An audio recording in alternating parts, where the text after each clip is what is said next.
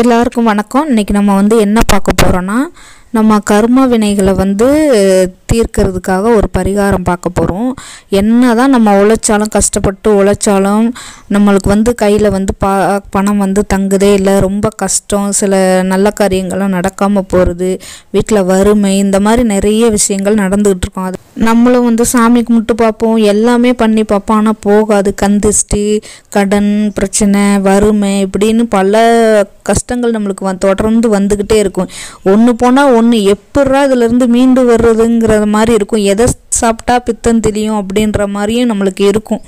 ஒரு மனிதன் வந்து தன் வாழ்நாளில் செய்யும் நன்மை தீமைகளை கணக்கிட்டு அதற்கான பலன்களை தருவது தான் கர்மா. அந்த கர்மா.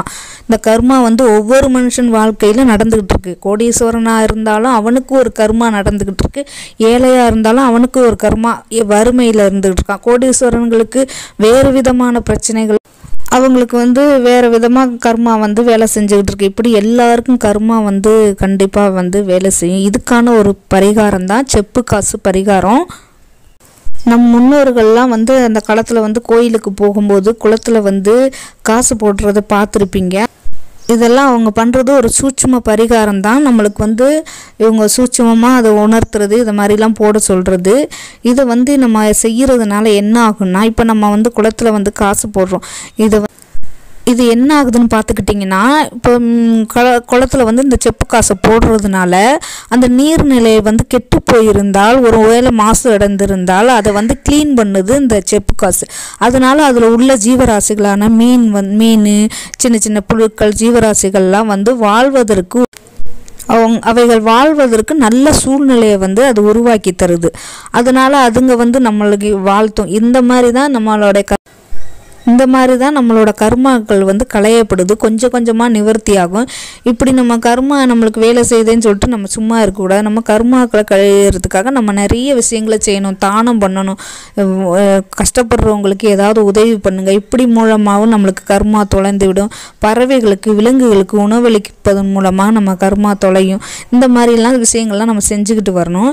இப்போ இந்த பதினோரு ஒவ்வொருத்தருக்கும் பதினோரு செப்பு காசுகளை எடுத்து பூஜை அறை நல்லா கழுவிட்டு பூஜை அறையில் வச்சுட்டு உங்கள் ஒரு விளக்கு ஏற்றிடுங்க விளக்கு ஏற்றிட்டு உங்கள் குலதெய்வத்தை நல்ல மனதார வேண்டிக்கங்க. என்னுடைய கர்மாக்கள் எங்கள் குடும்பத்தில் உள்ள அத்தனை பேரோட கர்மாக்கள் தொலையணும் போகணும் அப்படின்னு சொல்லிட்டு நீங்கள் வந்து நல்லா வேண்டிக்கிட்டு இது இந்த காசை என்ன பண்ணணும்னு பார்த்துக்கிட்டிங்கன்னா அந்த காசை நீங்கள் எடுத்துக்கிட்டு அவரவர் அவரவருக்கு உள் வச்ச காசுகளை எடுத்து அவரவர் கையாலேயே தான் போடணும். ஒருத்தர் மாற்றி ஒருத்தர் போடாதீங்க.